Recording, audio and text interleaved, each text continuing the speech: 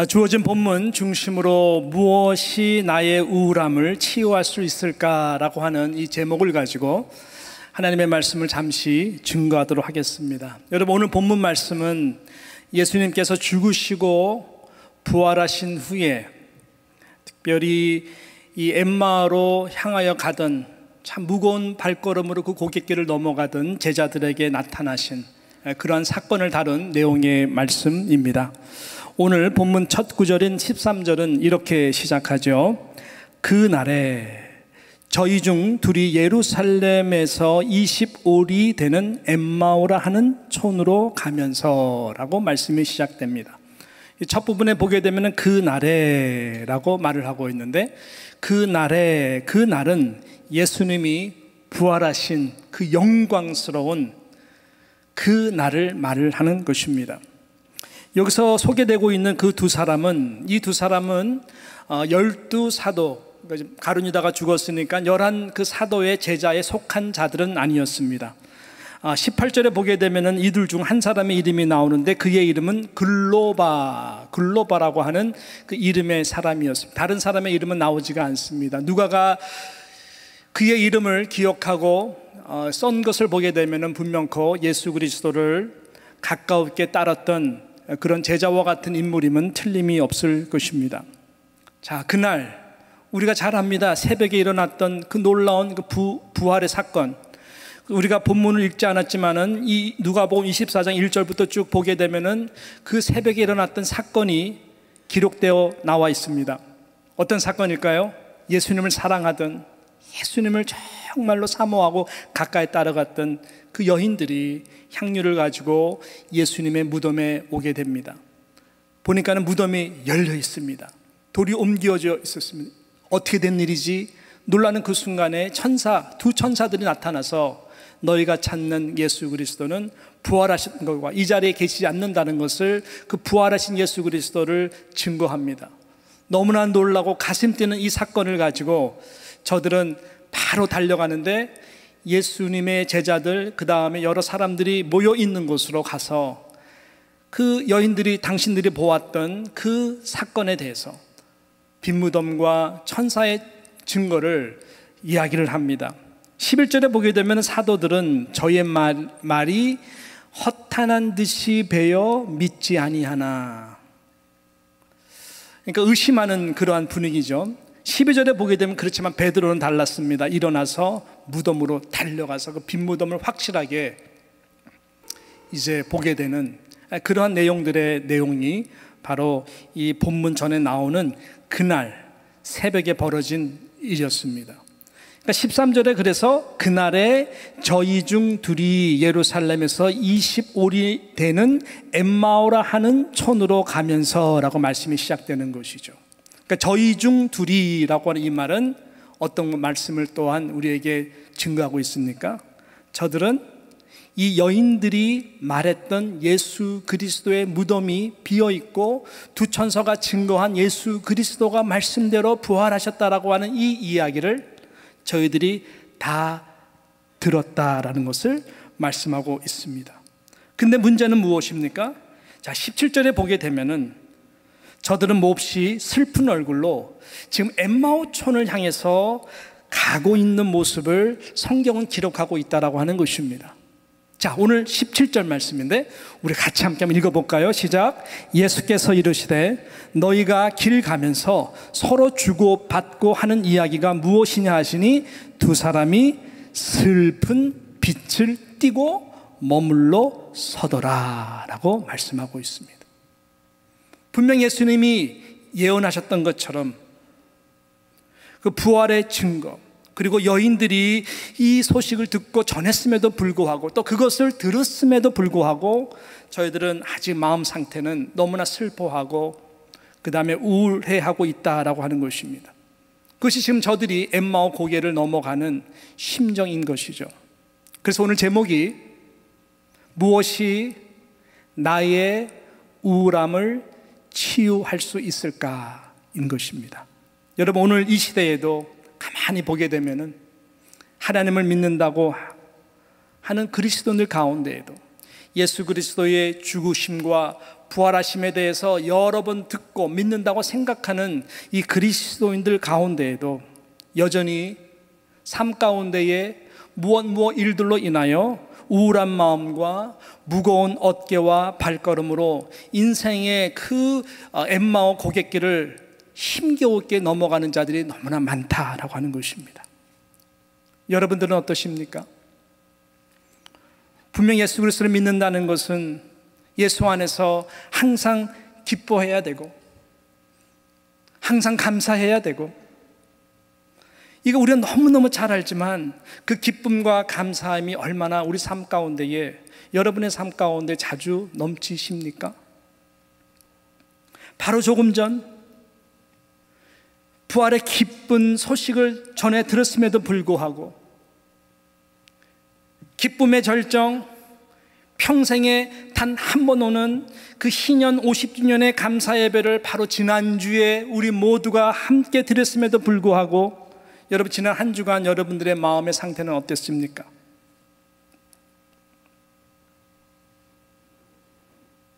여러분 이러한 우울한 감정 소위 우리가 말하는 우울증 요즘 대세적 정신적으로 앓고 있는 많은 분들이 겪는 질환 중에 하나인 것 너무나 잘 압니다. 지금 대세죠. 이것이 mild 하면은 좀 괜찮은데 심각한 중증 환자들은요 극단적인 생각을 계속함으로 위험에 노출될 수 있기 때문에 굉장히 심도 있게 다뤄야 되는 병이 우울증입니다. 미국도 그렇지만 한국도 이 통계를 보게 되면은 70% 이상이 이 우울증을 깊이 경험한 적이 있다라고 말한 그 데이터를 본 적이 있습니다. 더더욱 요즘과 같이 전 세계적으로 이 코로나 사태로 인해 이 팬데믹이라고 하는 이 긴 시간이 지연되면 지연될수록 이러한 우울적 감정은 점점 심해지는 것 같습니다. 한국은 한국에 한번 통화를 할 수 있는 일이 있었어요. 그래서 아내와 함께 식구와 같이 지내는 한 아이를 둔 우리 그 자매와 엄마죠. 그 자매와 아, 같이 함께 좀 우리 보이스톡을 좀 했었어요. 어떻게 지내니? 좀 어떠니? 그 자매 굉장히 활달한 자매고 식구와 같이 너무너무 잘 지냈던 자매. 항상 긍정적이고 매우 밝고 소중한 자매예요. 예, 아이도 입양해서 너무너무 잘 기르려고 하는 자매인데 뭐 너무너무 친하니까 솔직하게 얘기하더라고요. 목사님 실은 우울증이 온 것 같이 너무너무 힘들어요. 무기력증에 자꾸만 빠져요. 감당해야 되는 일들이니까 또 일들이 산적해 있으니까 몸이 움직이는 거지. 실은 내 마음속 깊은 곳에는 나도 이해할 수 없을 정도로 모든 거 하기 싫고 너무너무나 힘들어요. 라는 이야기를 들을 때 이것이 뭐 그 자매의 이야기만 일 것이, 이 자매만 겪는 이야기일까요? 그렇지가 않죠. 이것은 우리 모두가 겪는 솔직한 이러한 감정들이 아닐까 생각을 해보는 것이죠. 여러분, 현대 심리학과 그 다음에 현대 의학에 의하면은 우리가 겪는 우울증 이것을 우리로 하여금 겪게 하는 요인들을 크게 세 가지 영역에서 그 이유를 이제 그 찾아낸다고 합니다.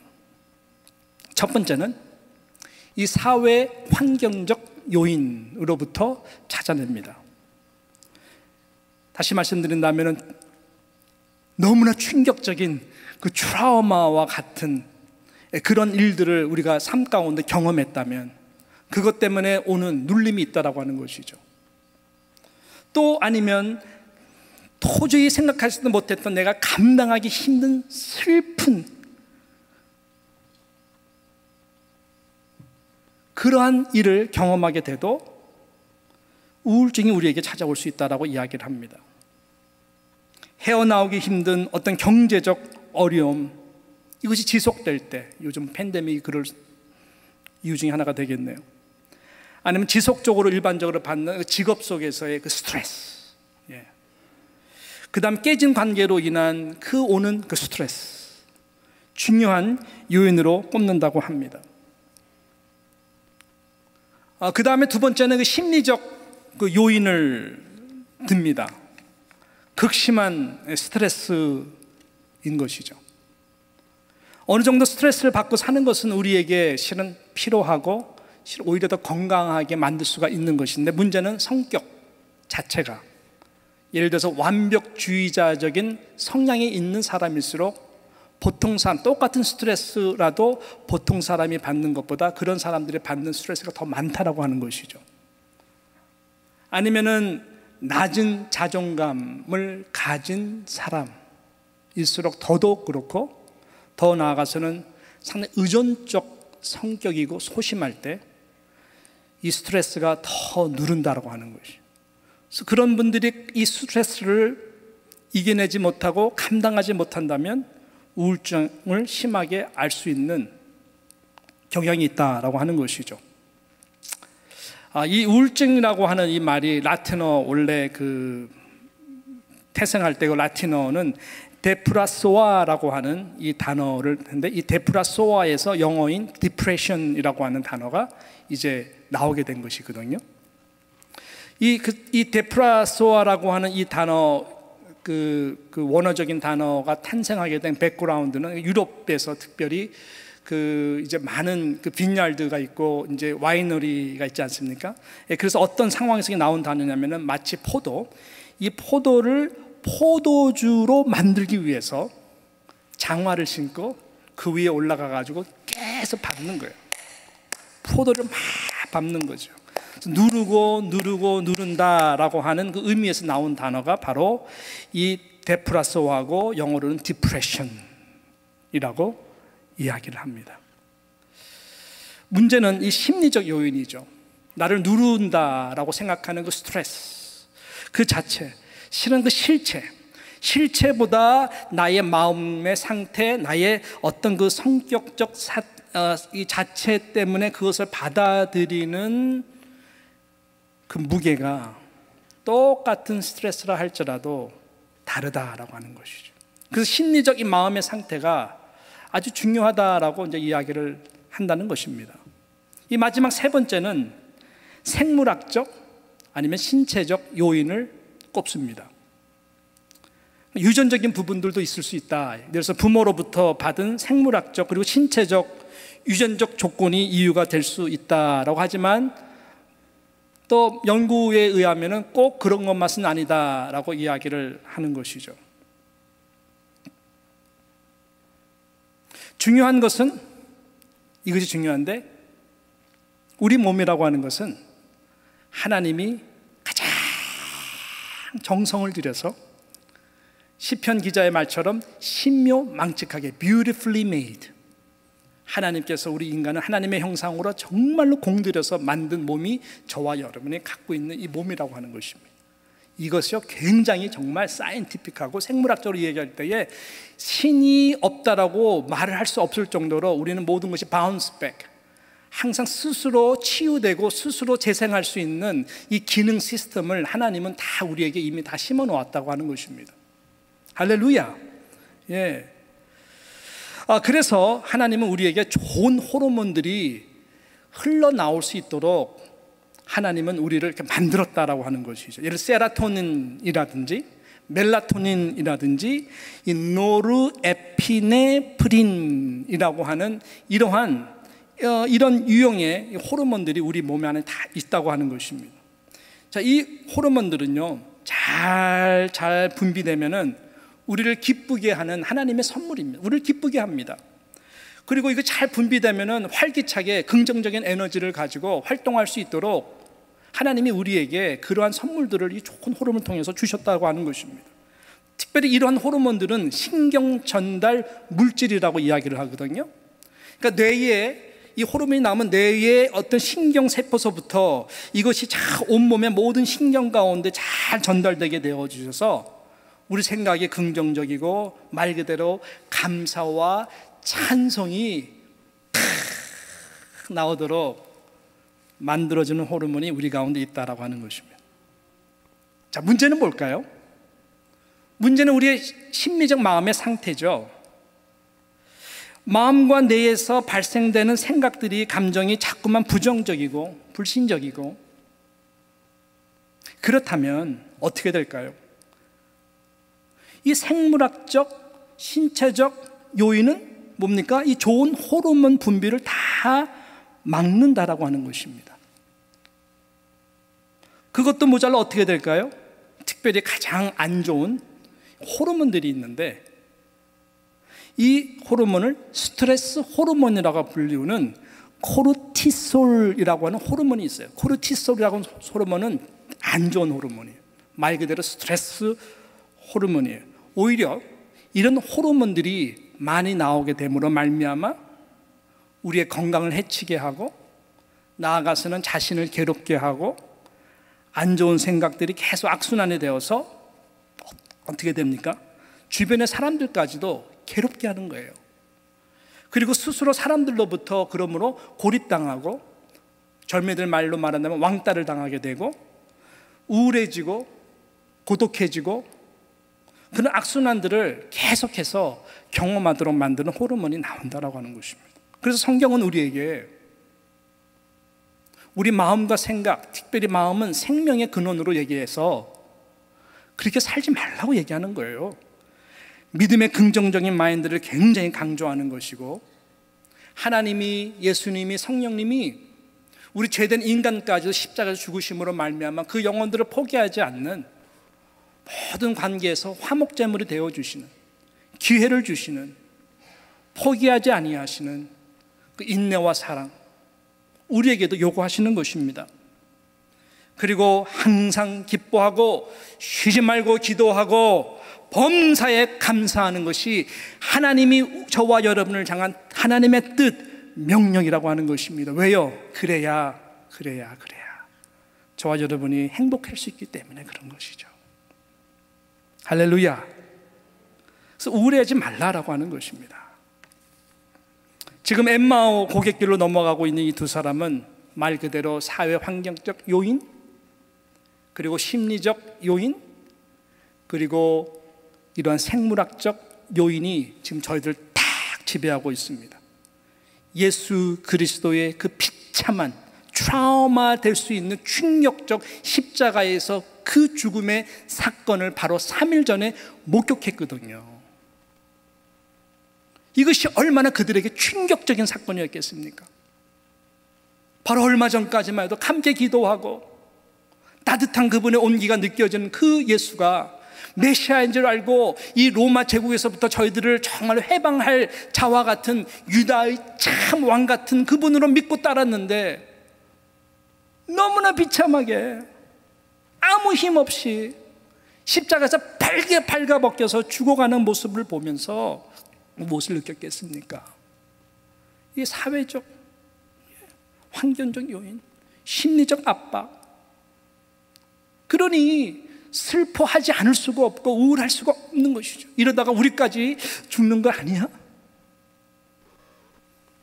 그래서 그 두려움과 스트레스가 저희들을 압박하는 가운데에 예루살렘을 떠나서 지금 엠마오로 저희들이 몸을 숨기러 우울한 마음으로 슬픈 마음으로 지금 너무나 힘겨운 무거운 발걸음을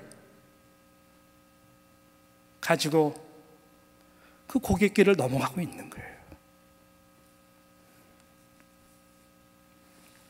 자, 정말 중요한 포인트가 바로 이것입니다. 꼭 기억해 주세요. 무엇이 중요한 포인트냐? 저와 여러분을 우울하게 만드는 그 어떤 외부적 요인, 환경적 요인, 아니면 누구 때문에 오는 요인, 이것이 정말 여러분들을 우울하게 만드는 진정한 요인이 절대로 될 수가 없다라고 하는 이 진리입니다. 절대로 그것들이 여러분들을 우울하게 하는 요인이 될 수가 없어요.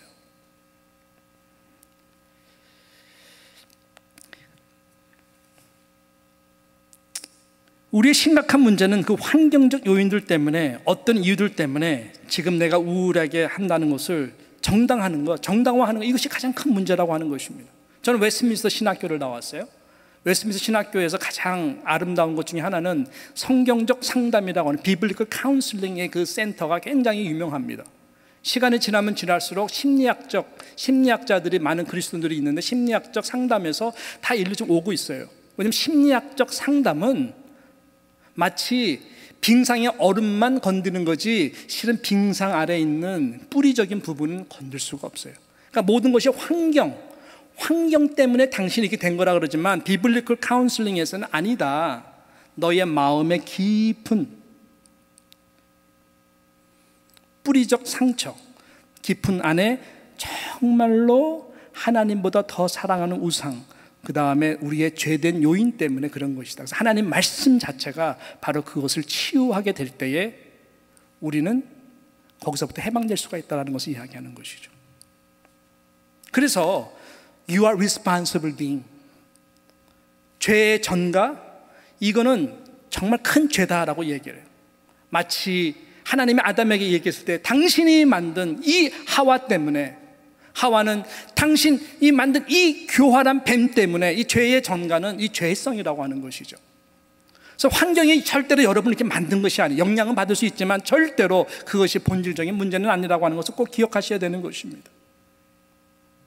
심리학적 그래서 치료법에서는 환경을 좀 바꿔보려고 노력은 저는 이것을 비판하는 것이 아니라 여러분들도 적용하세요 그렇지만 그 자체가 본질적인 문제를 여러분의 우울증을 해결할 수 없다는 것은 분명하다는 것을 말씀드리는 것입니다. 자, 심리학적 치료법에서는 환경을 바꿔보라고 권면합니다. 환경이 문제니까 방 안에만 갇혀 계시지 마세요. 따뜻한 햇빛을 보셔야 됩니다. 맞는 말이에요? 틀린 말이에요? 맞는 말이에요. 가벼운 산책이라도 하세요. 가벼운 산책을 하실 때에 좋은 음악을 들으면서 좋은 생각들을 많이 하세요. 맞는 말입니까? 틀린 말입니까? 맞는 말이에요. 저도 권장합니다. 저도 팬데믹 동안에 살아남을 수 있었던 것 중에 하나는 아내와 예, 저녁에 특별한 스케줄이 없으면 둘이 함께 마스크를 쓰고 같이 음악을 들으며 잘 걸어요. 때로는 두 시간 걷고 그래요. 예, 생각도 정리되고 잠도 잘 오고 참 좋습니다. 저는 그거 권면합니다. 그렇게 하셔야 됩니다. 그러나, 그러나. 또 보면은 드시고 싶은 음식을 아무리 입맛이 없다 할지라도 정말 드시고 싶은 음식을 생각해 보시고 그 음식을 가장 당신이 좋아하고 편하게 생각하는 분들과 일주일에 한 번 아니면 이주에 한 번 약속하셔서 그 시간과 공간을 꼭 확보하십시오라고 이야기를 합니다. 좋은 말이에요? 안 좋은 말? 정말 좋은 말이죠. 예. 그렇게 하세요. 예. 특별히 말을 많이 하는 사람들보다 당신의 말에 공감해 줄 수 있고 당신의 말을 잘 스폰지가 들을 수 있는 당신으로 하여금 안에 있는 것을 말하도록 할 수 있도록 편안하게 만들어 주신 분이 계시다면은 그런 분들과 함께 교제하시고 좋은 식사를 하십시오. 그럼 그 시간에 대한 기대감 때문에 여러분이 고독감에서부터 많이 자유할 수가 있을 것입니다. 저는 그것을 정말로 권합니다.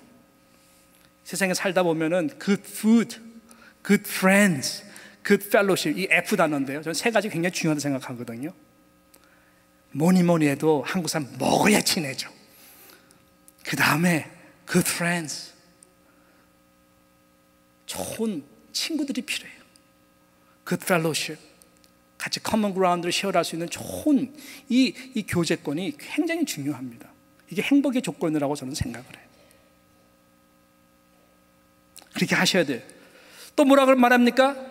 운동하셔야 됩니다. 네. 나중에 후회합니다. 당신에게 맞는 좋은 운동을 잘 선택하시고 잘 개발해 보십시오. 신진대사가 원활하게 잘 돌아갈 것입니다. 그 운동을 당신께서 또한 좋아하게 된다면, 억지로가 아니라 좋아하게 된다면은 금상, 금상첨화입니다. 라고 이야기를 합니다. 이상 좋은 치료법이 없습니다. 라고 이야기를 합니다. 취미 생활을 잘 개발해 보십시오. 건강한 취미 생활, 특히 아내와 함께 할 수 있는 것, 식구들과 함께 할 수 있는 좋은 common ground sharing, 좋은 취미를 한번 개발해 보십시오. 맞는 말일까요? 진짜 맞는 말이죠.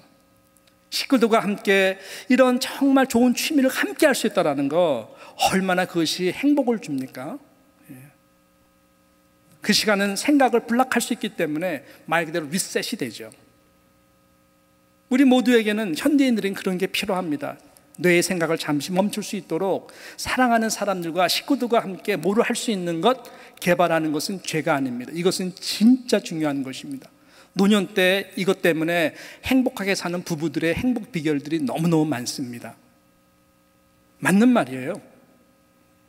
삶의 규모를 이렇게 넓혀간다는 것 정말 지혜이고 중요합니다. 사랑하는 성도 여러분, 저도 그걸 추천합니다. 저도 그렇게 하려고 무지 노력을 합니다. 많은 그러나 그러나 이 모든 것들이 어느 정도 빙상의 일각을 잠시 잠재우는 것으로 도움이 될 수 있겠지만 우리의 일상은 우리 조용한 일상은 항상 홀로입니다. 90% 이상의 조용한 가운데에 홀로 지냅니다.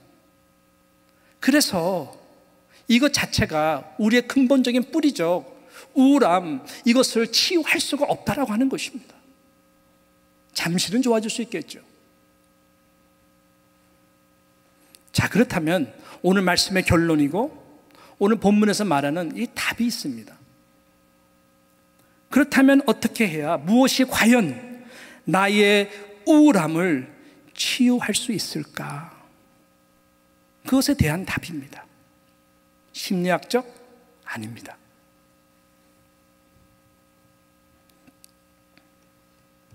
사회적 환경 조건이 바뀐다고? 아닙니다. 조상 탓하겠습니까? 나의 원래 진이 그래? 아닙니다. 성경은 절대로 그렇게 우리에게 말하지 않습니다. 자, 그럼 뭐냐는 거예요. 솔라 스크립토라.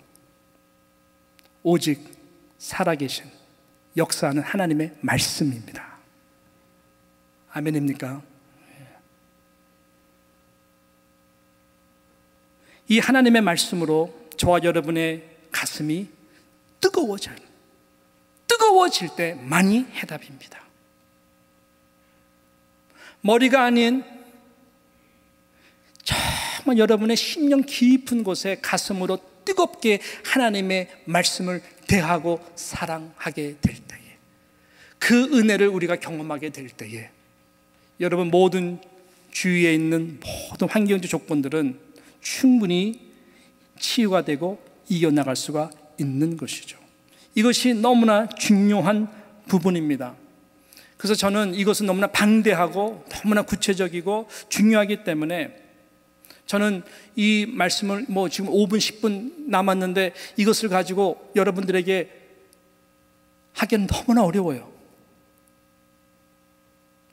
그래서 저 몇 주 동안 하나님의 말씀에 대한 말씀을 가지고 나누기를 원하는 거예요. 특별히 50주년 기념 감사 예배를 마친 다음에 하나님이 저에게 주신 그 음성은 그거였었어요. 말씀으로 돌아가라. 말씀만이 대안이다. 말씀을 다시 리셋하고 restart 하라. 그럴 때 모든 심령 심령들 내가 역사할 때에 그 가운데 정말 마음이 뜨거워지고 부흥이 임하리라라고 하는 그 은혜인 것이죠. 그럴 때에 여러분들이 진정한 50년의 행복과 기쁨과 감사를 누리지 그렇지 않다면 여러 가지 조건적인 환경 때문에 마음이 우울해지고 힘들어지는 거예요.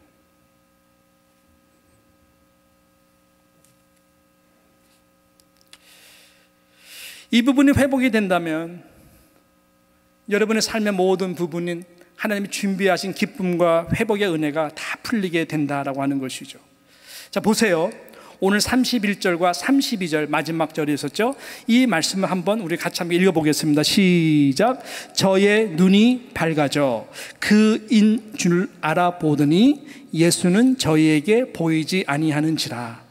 이 32절 저희가 서로 말하되 길에서 우리에게 말씀하시고 우리에게 성경을 풀어 주실 때에 우리 속에서 마음이 뜨겁지 아니하더냐 하고 우리 속에서 마음이 뜨겁지 아니하더냐 하고 이것이 키입니다. 이것이 열쇠입니다.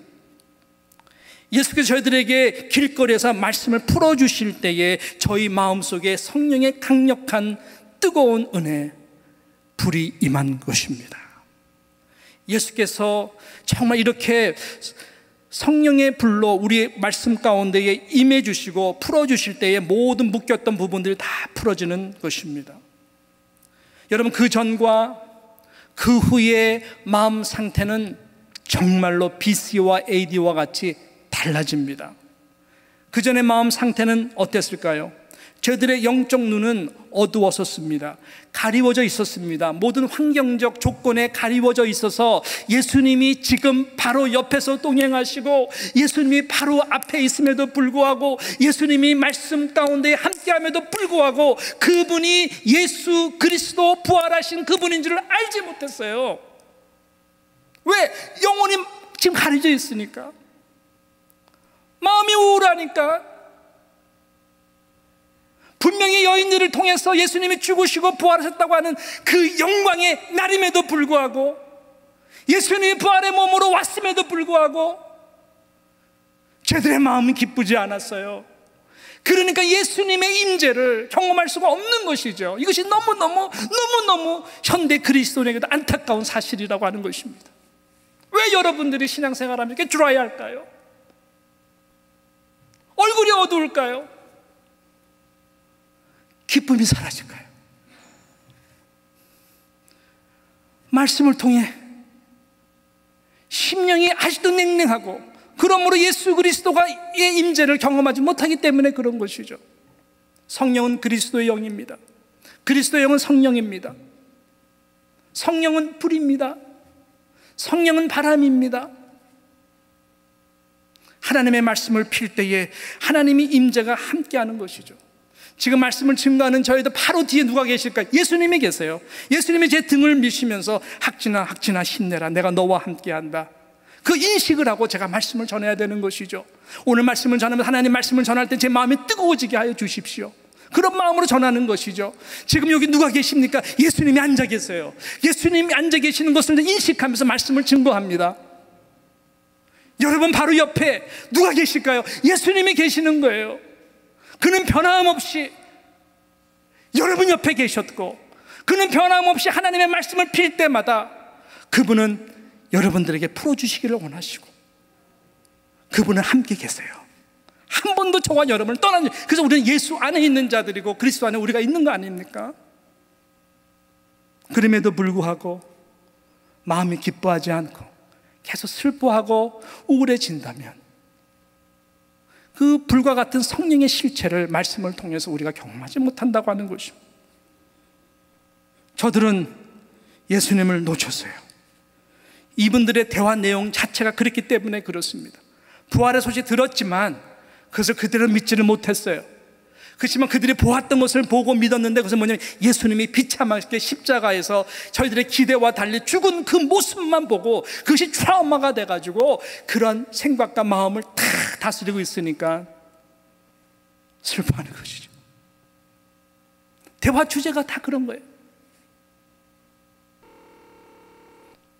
여러분의 생각, 대화가 부정적이고 그렇다면은 예수님이 안 보여요. 예수님의 임재를 경험할 수가 없어요. 그래서 우울한 마음과 이런 상태면은 그 우울함을 절대로 치유받을 수가 없죠. 그렇지만 저들의 여러분 보세요. 마음이 뜨거워진 이후의 상태는 너무나 달라졌습니다. 저희들의 발걸음이 달라집니다. 발걸음이 어떻게 달라졌을까요? 자, 33절과 34절 우리 읽지 않았지만 한번 보십시오. 어떻게 증거하고 있는지 오늘 본문 바로 다음에 나오는 34절과 35절에 보게 되면은 이런 아 33절 34절에 이렇게 말씀합니다. 한번 성경책을 보십시오. 곧 그 시로 일어나 예루살렘에 돌아가 보니 자 보세요. 곧 시로 일어나 주저앉고 싶었던 저희들의 엠만 엠마오로 가던 그 무거운 발걸음을 돌이켰어요. 얼로 돌이켰냐? 바로 그 시에 일어나 얼로 돌아갔어요. 예루살렘으로 다시 돌아갔어요. 그 사명의 자리, 소명의 자리로 그들은 돌아갔어요. 그 시로 일어나 예루살렘에 돌아가 보니 열한 사도와 및 그와 함께한 자들이 모여 있어 말하기를 주께서 과연 살아나시고 시몬에게 나타나셨다 하는지라. 저들의 부정적인 입술이 바뀌어서 이제는 소망의 메시지를 증거합니다. 저들의 무거웠던 발걸음 피하자 예루살렘을 떠나서 엠마로 향하던 저들의 발걸음이 이제는 예루살렘으로 돌아가게 됩니다. 이렇게 가슴이 뜨거워지면 우리의 신앙의 본질이 다 회복이 되는데 내가 왜 예수를 믿는가라고 하는 그 본질적인 질문 앞에 어떻게 하면 나의 삶을 통해서 예수 그리스도가 증거되는 그 삶을 살 수 있을까로 완전히 뜨거운 가슴으로 바뀌게 된다라고 하는 것입니다. 그래서 답은 우리의 가슴이 뜨거워져야 돼요. 내가 가슴이 냉랭하고 우울한 그 정당한 이유를 다른 어디에서 찾지 마십시오. 하나님의 말씀 안에서 찾는 여러분 되시기를 축복합니다. 성령이 불과 같이 여러분 심령 가운데에 붙기 시작하면은 회개가 나옵니다. 견딜 수가 없어요. 저도 여러 번 경험합니다. 견딜 수가 없어요. 해결하지 않은, 토하지 않은 그 문제를 놓고 견딜 수가 없어요. 성령은 회개케 합니다. 그리고 시원한 마음을 주시죠. 우리 안에 뜨거운 마음이 있으면 모든 것이 다시 살아납니다. 우상들이 다 태워지고 새로운 우리에게 참 에너지를 주는 것이죠. 우리의 마음, 생각, 성령에 사로잡히게 되면 예수 그리스도 발 앞에 무릎 꿇게 합니다. 다시 종의 모습, 가장 겸허한 정말 모습으로 돌아가도록 만듭니다. 전에도 계셨고 지금도 바로 옆에 계신 영원히 함께 계시는 예수님의 임재를 느끼도록 하나님의 말씀은 우리에게 다가오게 되는 것입니다. 31절에 보니까 저희 눈이 밝아져 그인 줄 알아보았더니 예수는 저에게 보이지 아니하는지라라고 말씀합니다. 기가 막힌 말씀이죠. 마음이 냉랭하고 슬퍼할 때는 예수님이 앞에 있어도 예수님이 그인 줄 모르고 가려져 있었습니다. 나중에 가슴이 뜨거워지고 마음이 열리니까 주님이 보이는 거 예수가 보이는 그런데 그 예수는 어떻게 됩니까? 이제는 사라지시는 거예요. 기가 막힌 말씀입니다. 그 말은 뭘까요? 이제 됐다. 이제 됐다. 가슴이 뜨거워졌니? 이제 됐다. 이거면 되지. 이거면 되는 거야.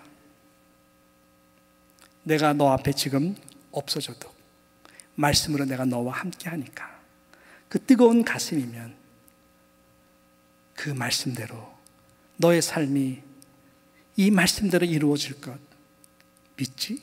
이거면 되는 거야. 예수님은 안심하시고 그 영혼을 소생시키신 다음에 사라지신 것입니다. 뜨거워지면 되는 거예요.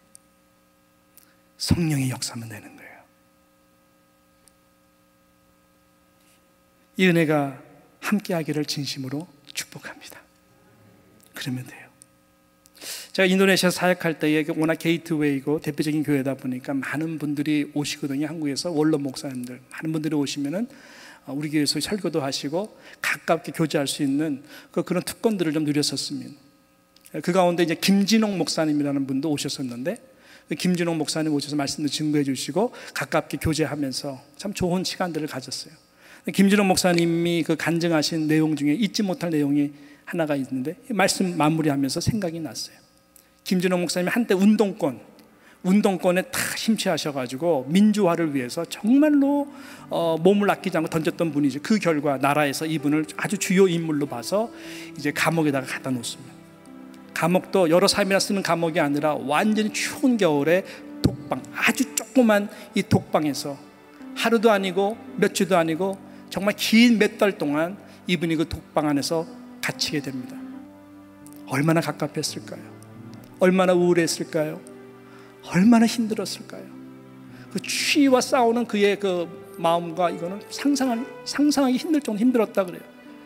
목사가 할 일이 뭐가 있겠습니까? 그래서 그는 맨 처음 원하는 마음이 아니었지만 성경책을 읽었다고 합니다.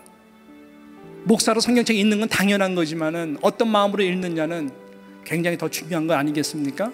그래서 그냥 읽었는데 주일날에 다 창세기부터 시작하면은 어김없이 토요일날 밤이 되면은 요한계시를 끝내더래요. 딱 일독을 하는데 일주일이 걸리더라는 것이죠. 그래서 그것을 반복하셨대 쭉 반복하셔서 그날도 다 읽어가는데 구약 어느 한 부분에서 잠시 탁 눈이 멈추더니 그 말씀이 살아 역사를 하는데 심령 가운데 뜨거움으로 전달해 오는 것을 느꼈다고 합니다. 너무너무 뜨거워서 가만히 앉을 수가 없었다고 이야기합니다. 벌쩍 벌쩍 뛰었다고 합니다. 추운 겨울에 몸이 전혀 춥지도 않고 성령이 불과 같이 말씀 가운데 임한 것을 그가 경험하게 된 것이죠. 찬송이 터져 나옵니다. 기뻐합니다. 그때 흘렸던 감격의 눈물은 그 세상 무엇보다도 비교할 수 없는 참된 순수한 성령이 주시는 기쁨이었다고 하는 것이죠. 그 이후로 그분은 하나님의 말씀을 대할 때 그러한 임재, 그러한 믿음으로 말씀을 대할 때 정말로 모든 어려움들을 극복해 나갈 수 있었다라고 간증을 하는 것이죠. 여러분 이 은혜가 우리에게 필요합니다. 하나님의 말씀을요. 그러한 마음으로 간절히 사모하는 마음으로 기도하는 마음으로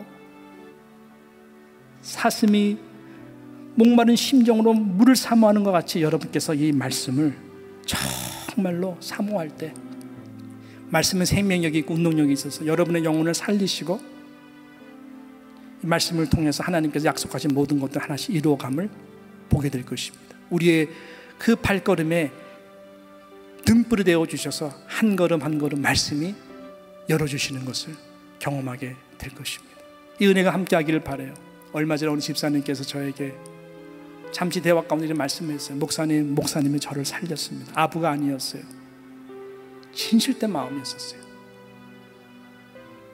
교회 생활 오래 하면서 항상 비판적인 의식을 가지고 쟤는 돼, 쟤는 안 돼. 그런 생각으로 종교인과 같은 생활을 하다가 제자 훈련하면서 정말 내가 한번 성도로서 말씀 앞에 내가 한번 변해보자. 그때 그때 그때 그때 인도해 주시는 훈련을 통해서 당신이 완전히 말씀 앞에 사로잡히는 뜨거운 가슴을 갖게 된 이제야 비로소 성도가 되었다라고 하는 그 고백을 눈물 흘리는 마음으로 고백하셨어요. 그래서 당신은 지금 죽어도 연이 없다. 너무 행복하다. 이 기쁨이 너무너무 좋다. 무엇입니까? 말씀을 통해서 성령의 감동, 불로 임해 이 말씀이 마치 바람과 같이 내가 왜 살아야 되는지 이 뉴욕 한무통에서 그 조그만 장사 되든 안 되든 하나님의 나라와 기업을 위해서 내가 해야 되겠구나 비전이 생기기도 하고 너무너무 행복하다고 하는 그 고백을 들었을 때에 할렐루야 네. 여러분 이 말씀이 여러분을 살릴 수 있어요. 한 주 동안 살아가시면서 어떤 말씀을 피든지 단 몇 구절 읽더라도 하나님 이 말씀을 내 심령 속에 뜨거운 불로 임하게 하여 주시옵소서. 그런 마음으로 나아갈 때에 살았고 운동형인 하나님의 말씀이 여러분들을 살리시고 다시 한번 우리 모두에게 다시 리스타트하는 참된 부흥의 은혜를 주실 줄로 믿습니다. 이 은혜가 우리 모두에게 임하기를 주님의 이름으로 축원합니다.